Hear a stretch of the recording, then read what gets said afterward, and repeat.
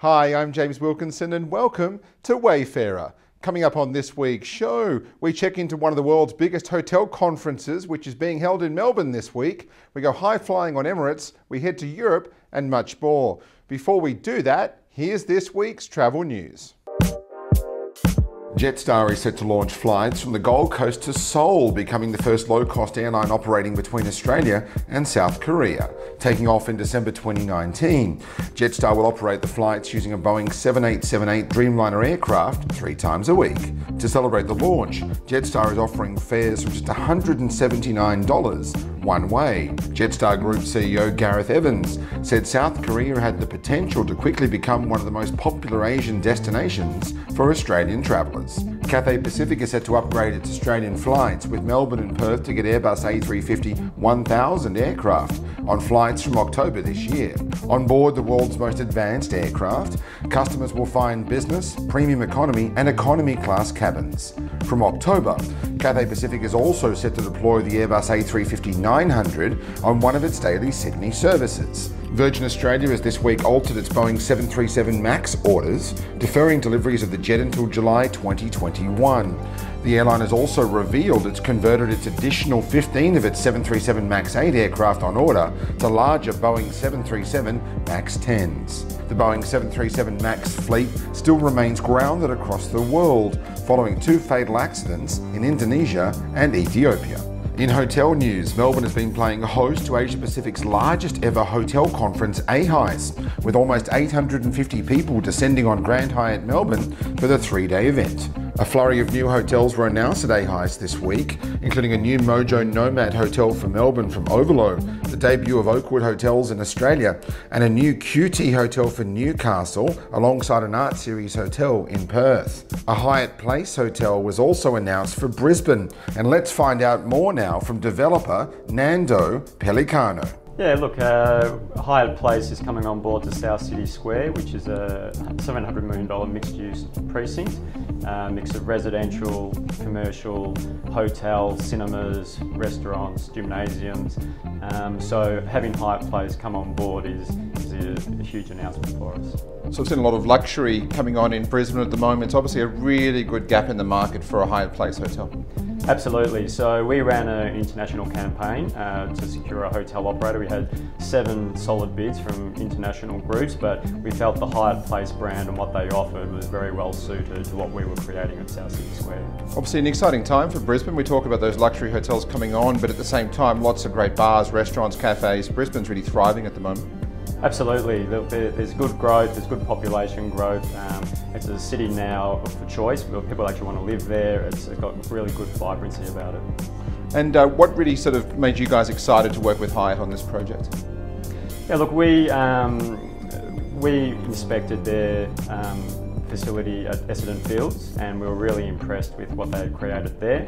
Um, and look, they're, they're, they're family, family based, even though they're a public company. Their values and, and the way they go about things is very similar to how we go about things being a family business. So, and as we're going to be the developer and the long-term owner, we wanted to pick someone who could have a good long-term relationship with. So that was very important for us, um, having very similar values. Obviously, mixed use is a pretty good mix at the moment in terms of hotel developments. Would you say so?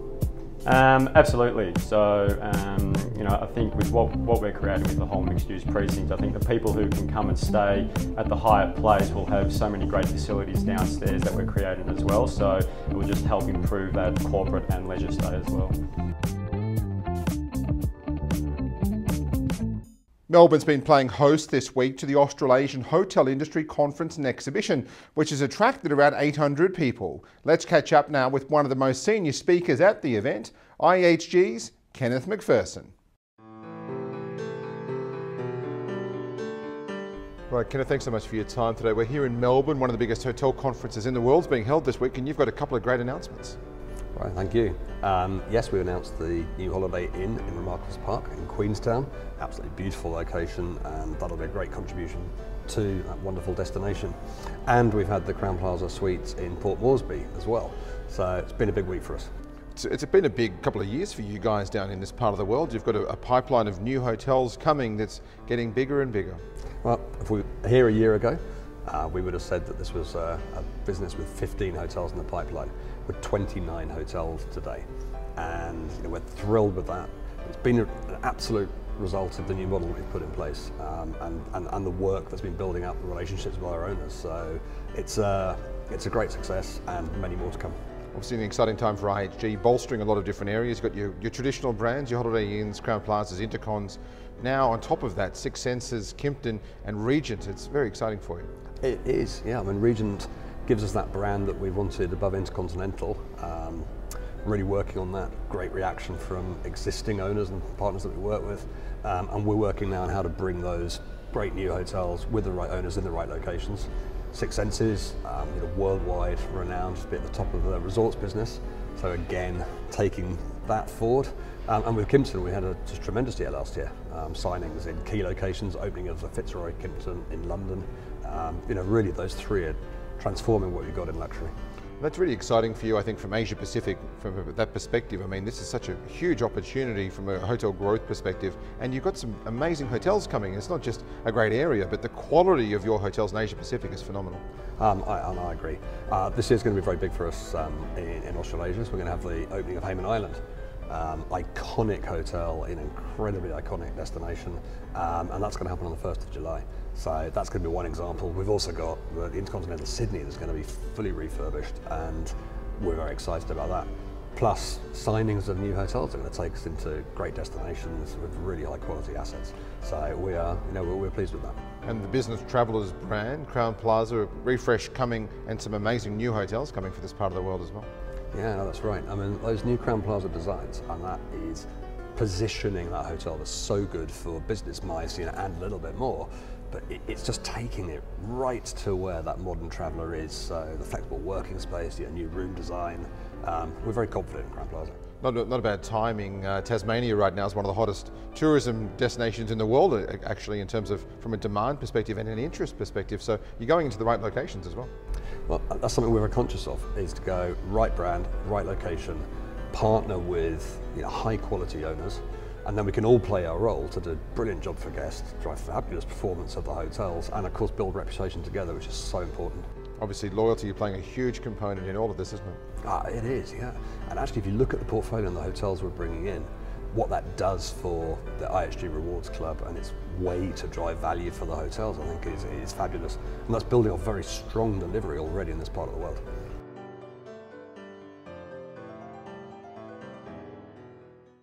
Coming up after the break on Wayfarer, we're taking you to Paris.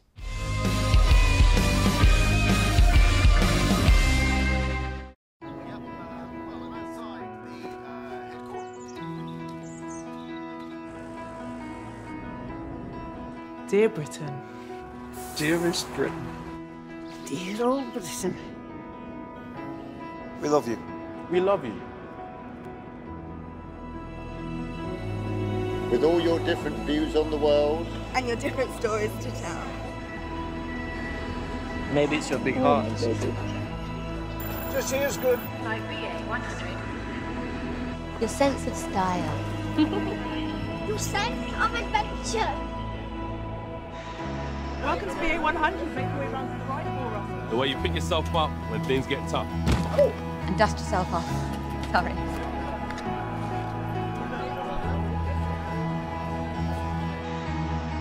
BA-100, you're clear for takeoff. How you follow your own path.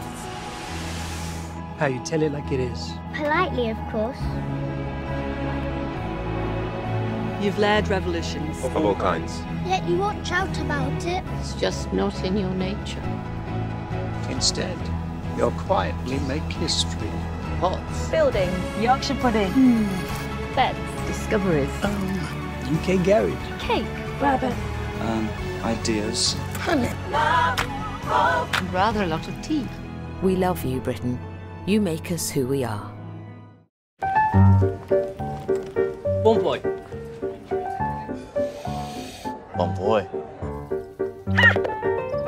Wrong boy. Bon boy. Good boy! Good boy! Bon boy! That's just too good. Brilliant from Rashford. Bon Bon boy.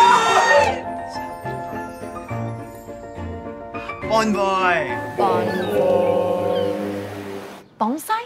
Bonvoy. Bonvoy. Bon boy.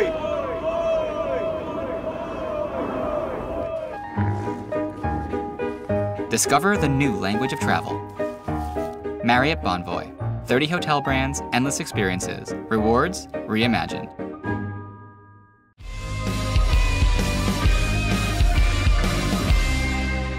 Let's head across Paris now and check into another one of the city's most amazing luxury hotels, Le Royal Monceau. Well, thank you so much for your time. We're here at the beautiful Raffles in Paris, and tell us about this amazing property. Well, it's a property that is part of the Raffles family since 2010, since we reopened.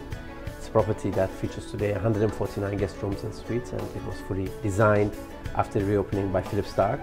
And in my opinion, it's one of the most sophisticated hotels today that Paris has to offer.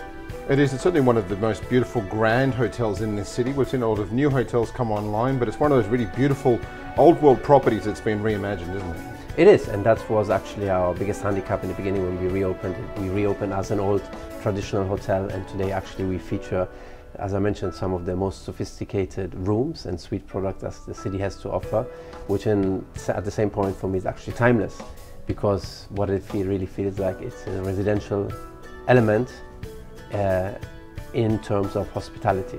So if you're looking for something to be living as a local, you with the Royal Monceau you choose the right destination.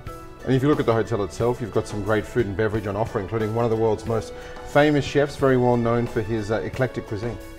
I think F&B is uh, more and more becoming the stronger part of the hotel because it dictates the vibrance of the hotel, it dictates the clients that you get, and the biggest compliment one can get if you're accepted by the locals, uh, you have a winning factor, and this is actually the case with the Royal Monceau. 95% of our F&B goes is not linked with hotel occupancy, but is linked to the Parisian guests that come here.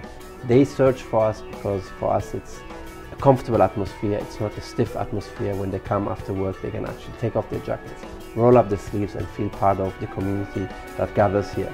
So today we have a long bar that all the Raffles properties feature, which is a classic and which is a very famous hangout for the locals. We have Nobu Matsuhisa, which is our Japanese uh, Peruvian contemporary uh, dining, which is a mega hit since we opened it in 2016.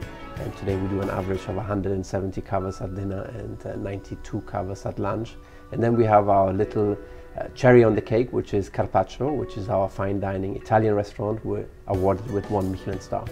How important is it in a city right now, with Paris being such a culinary city at the moment, having great F&B in the hotel?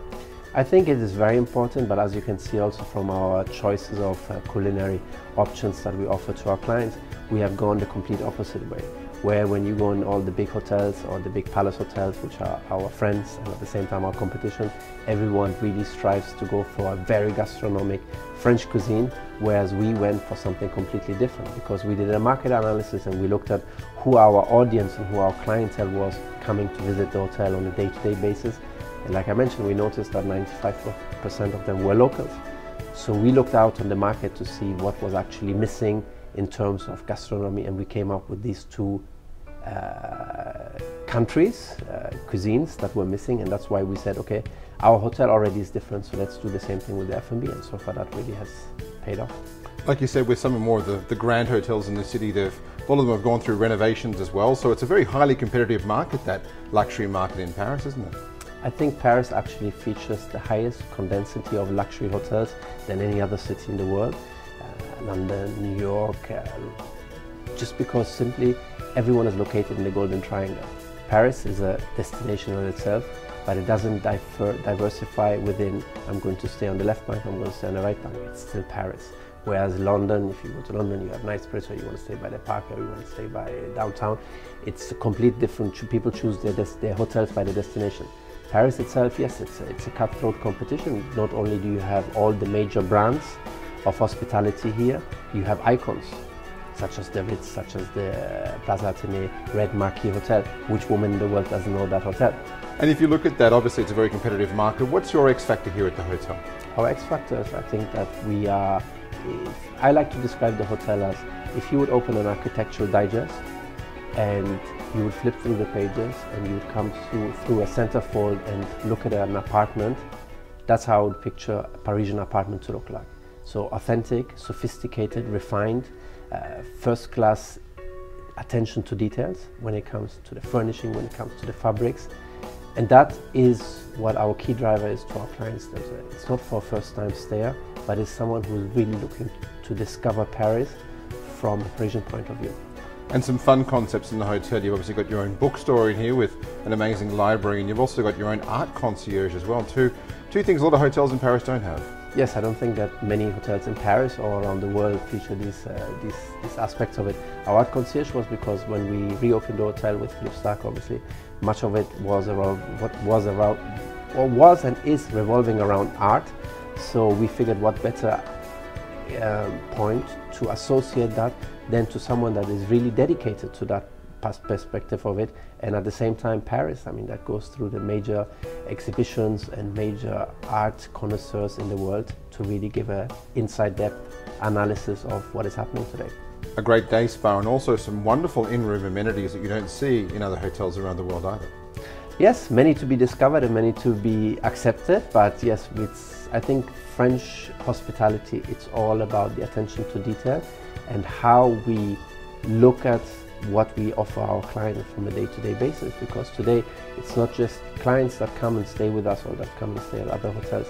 They're looking really for that authenticity because most of our clients, face it, they have nicer homes than the nicer hotel suites that we currently have. So they're looking for that little extra attention to detail. And a home away from home, as you uh, as you like to put it, you do feel like you're staying in a house here, and not a hotel. Yes, I think that is also really the aspect that my team and myself would like to give to our clients that come here. Uh, you don't want to feel like uh, you're part of a room number, but you want to feel like you're part of being in someone's home family at the same time having all the services that you have in any palace hotel. Wonderful. Well, thank you so much for having us. Thank you very much for being with us and have a pleasant stay. Coming up after the break, we find out some of the whining and dining secrets of Emirates.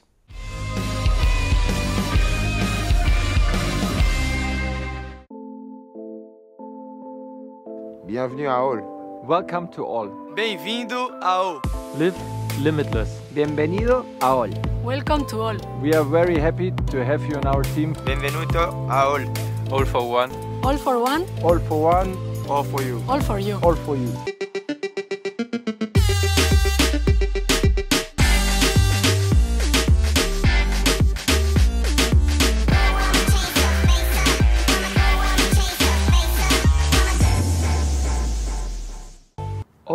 o all? All.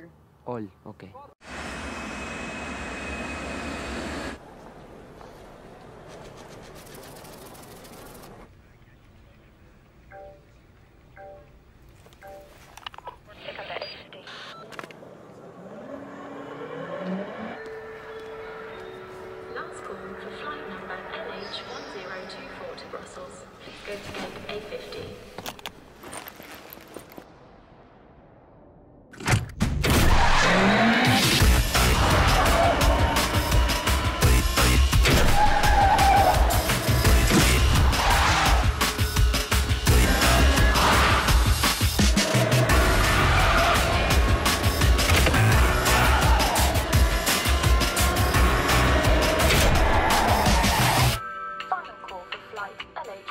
LH1024 Brussels. Closing now at gate A50.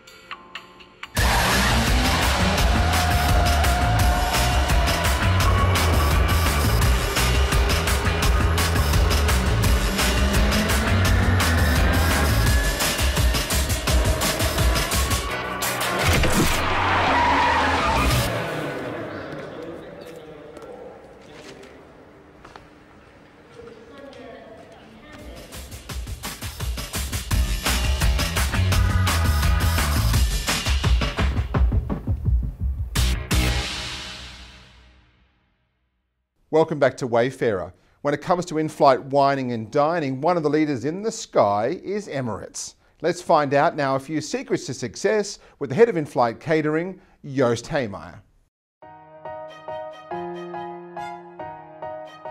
All right, Joost, thanks so much for your time. We're here in one of your storage facilities for Emirates that holds some of the most amazing wines in the world, and this is only a few days worth of stock for you, isn't it? Yeah, correct. If you just look behind me, this is one aisle out of nine, uh, and uh, that holds about a week worth of stock. So we turn over a lot of wine in a very short, short period of time. What I find impressive about Emirates at the moment is the quality of the wine. You know, your Montrachets and Margaux and Cloudy Bays, you're really upping the ante from an onboard wine perspective. It, it's not something we've just started doing. You know, we made a decision 15 years ago um, to really develop a, a very high-end wine program, but also to start buying wines early. So uh, the, the difference between other airlines and ourselves is that we like to keep our own hand on, on how we buy the wine, when we buy the wine, how long we store the wine. And some of the wines that we're drinking today we bought 15 years ago. So they've been maturing in our cellars for a very long time and when they're at their peak we, we, we bring them to market. It's also at a time, I think, where a lot of airlines are toning back the quality of the wine on board and you're maintaining a very high quality of wine on board. Uh, James, we, um, I, I, can't comment on what other airlines do. I, I, I, do know that when Tim Clark decided to take a much more proactive role in how we buy wine and, and, and the relationships we develop with the, the, the wine growers, not just in France, but we buy wines from 12 different wine producing countries. Uh, we know most of the growers, we have personal relationships with them, so it's also about their pride to be uh, on, on, on our aircraft and you know, when you fly business and first, uh, the wine growers really like to see their wines because it is the clientele that can afford to buy those wines. And yes, what we do as part of that value proposition is to give people wines that are going like, whoa, I mean, you know, I, would buy that for my 25th wedding anniversary. Uh, and, and, uh, and people can really equate uh, that value in the bottle uh, also to the, the, the price that they paid for their seat. You're keeping things very bespoke as well, like you were when you were at Wolgan Valley. You were, you were procuring local wines there and small batches of and parcels of wines. You're also procuring small parcels of wines for the airline now. It's a similar concept, isn't yeah, it? Yeah, it, it is. It is similar. And we do the same with food. But um, uh, just to give you a, an, an, idea, we uh, currently fly five different wine lists every day around the world. On average, about 75 wines uh, go to different different parts of the world. Uh, so we really make our wine list bespoke to the to the areas we we fly into, and uh, uh, the volumes are are, are quite uh, amazing. Annually, anywhere between two and three hundred wines we, uh, we, we we channel through our wine lists. That's quite a lot of different variations for an airline, but it's also obviously showing how much diversity you do have when it comes to buying wine, doesn't it? It's, it's not just the diversity, it's also uh, an, an, understanding of our passenger profile and the care we put into our overall food and beverage offering. Uh, and it's fun, you know, it, it's fun to buy smaller parcels, knowing that you can put them on for a short amount of time on a, on a particular sector. Sometimes we even just go city specific. So we'll, you know, people in, in, in Portugal are really going to like this wine because you can't get it anywhere else. And I think that is the fun too. We, we sometimes release wines that are 10, 12, 15 years old and people are going, it is impossible for me to even get these wines because we bought them and kept them for so long and then people are going, that is truly spectacular. Like you said, it comes back to that wine program, doesn't it, 15 years ago, and in knowing at the time of exactly what kind of wine you'd want to be serving in 15 years. You're thinking a long way ahead. Yeah, it's, and, and it's being able to taste those wines when they're really, really young and then commit to them and uh, put them to storage. So in our cellars in France, uh, where we have main storage facilities in, in Burgundy as well as in Bordeaux, uh, we're currently keeping well over seven and a half million bottles of wine. And some of them will, you know, you'll see on board in the next year or so, but some of them will take 10, 12 years before we actually see them. So it's also having that level of patience uh, and um, it, it's, it's great value for our passengers. We've also seen the champagne stay on a very high level on board Emirates uh, in those 15 years as well. Obviously, you've got Dom Perignon available for first class and, and Moet and Veuve Clicquot. You've got some great brands on board. Yeah, the, the relationship that we've developed with uh, with Dom Perignon. I mean, Dom Perignon and Emirates first class are synonymous, right? They, they, that people have come to expect that. And over time, we've, we've become their number one client. We are their most important trading partner between Emirates and, and Dom Perignon. And, uh, we're, doing some fun stuff with them, not just the vintage selection that they bring on board, but uh, every year we get uh, a batch of, you know, Dom Perignon P2 or the very, very rare Dom Perignon Rosé uh, both of whom will feature this year on first class. And uh, this year we'll actually change our vintage from 2009 back to 2008, the first time that a champagne house has ever done that. 2008 will be an amazing vintage uh, for champagne and uh, as far as Dom Perignon goes we have a, an airline exclusive. So for the next 12 months Emirates will be the only airline uh, being able to serve the, uh, the 2008 Dom. And when it comes to food, obviously the most important thing there is having great food alongside great wine. And you, have got a very great, again, thinking more bespoke about when you are or looking at your uh, procuring some of your food on board too, aren't you? Yeah, we, we, we don't want to be a cookie cutter uh, company. So from the Middle East here, from our hub in, uh, in, in, in Dubai, where we serve 65% of our 110 million meals we served last year alone. Uh, of course, we celebrate Arabic generosity and the cuisine of the Middle East and the cuisine, of course, of the Gulf in, in, in particular uh, combined with an, with an international flavor. But then from our what we call outstations, whether that is Phuket or Amsterdam or, uh, or Orlando, uh, we challenge our chefs there to come up with regional and seasonal dishes. So as an example, in a, in a couple of weeks, uh, flying uh, to and from the Netherlands, Germany, France and Belgium, we will see uh, white asparagus, which, uh, which, which are in season, and that'll be great. Followed in June more to our British. Uh, we do a lot with with, uh, with, with strawberries, with, with, Wimbledon coming up, and and then we do all the big festive periods. I mean, we've got Ramadan coming here in the Middle East, so we pay attention to that.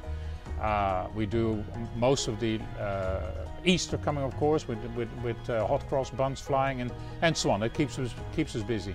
Very famous for your Christmas menus on Emirates, aren't you? Yeah, I mean Christmas. we, we we're already planning. You know, it's only April now. We were already planning uh, for Christmas uh, later on this year, and uh, we we get huge response, and and that is in every class, James. We don't just feature and focus business and, and first, but 70% of my business is is economy class driven. So.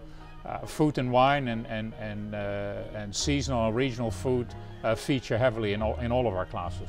Obviously, you're taking that uh, luxury restaurant experience from the ground to the sky, and it's obviously very important to maintain that quality, isn't it? I think as you go as you go forward as well. Yeah, it, it, it um, uh, the, the, the food and the dining experience, I still believe is a very important part of your journey, uh, and and uh, at Emirates we will never ever uh, skimp on that. It is uh, we're an aspirational airline.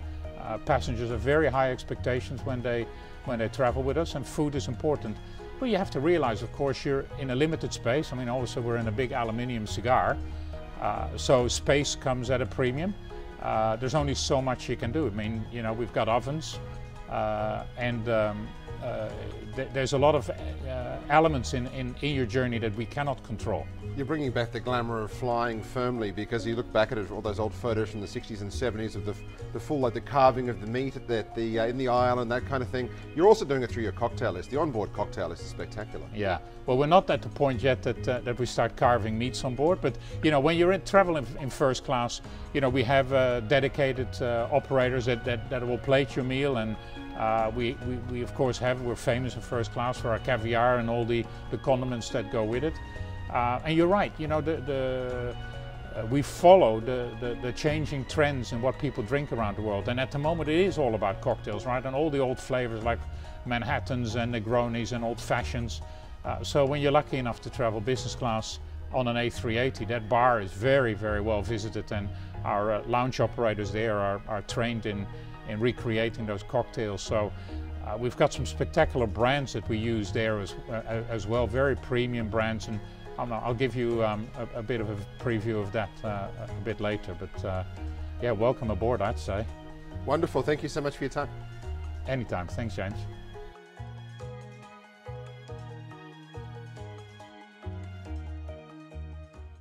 Let's now check out some must-have travel accessories for frequent flyers. When we hit the road, we've always got a pair of the Bose QC35 Mark II headphones with us for music, editing videos and making calls. Not only are the QC35-2s comfortable to wear, they offer brilliant sound thanks to the impeccable noise cancellation and audio performance, and they also go the distance with a 20 hour battery life. The headphones are easy to use when it comes to making calls, accessing Siri, and connecting to Google Assistant. There's an action button on the left ear cup which connects straight to Google Assistant without having to grab your phone, unlock it, and find the app. Bose and Google worked together on the exclusive experience in the QC35-2s, making it the first integration of Google Assistant in a headphone. Like its predecessor, the QC35 Mark II's noise cancellation is fully activated when the headphone is on, but the Bose Connect app now lets you choose to keep it on high, turn it down low, or disable it completely. The Connect app also lets you change the action buttons functionality, so you can control the noise settings from the ear cup when you want, and switch back to your Google Assistant when you want as well. The QC35 Mark II noise cancelling headphones come in black and silver.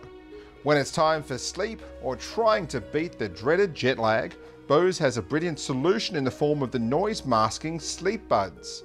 These are tiny wireless earbuds that combine a comfortable design with soothing sounds to block, cover, and replace the most common noises that interfere with our sleep.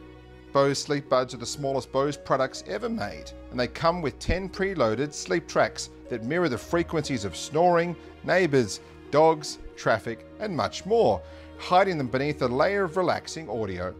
Bose Sleep Buds use low energy Bluetooth. They're iOS and Android compatible and come with the Bose Sleep app that makes it easy to update, control, and select preferences. Bose Sleep Buds come in a brushed aluminium charging case that provides up to 16 hours of battery life unplugged, which is ideal for both travel and overnight stays. For more information, visit bose.com.au.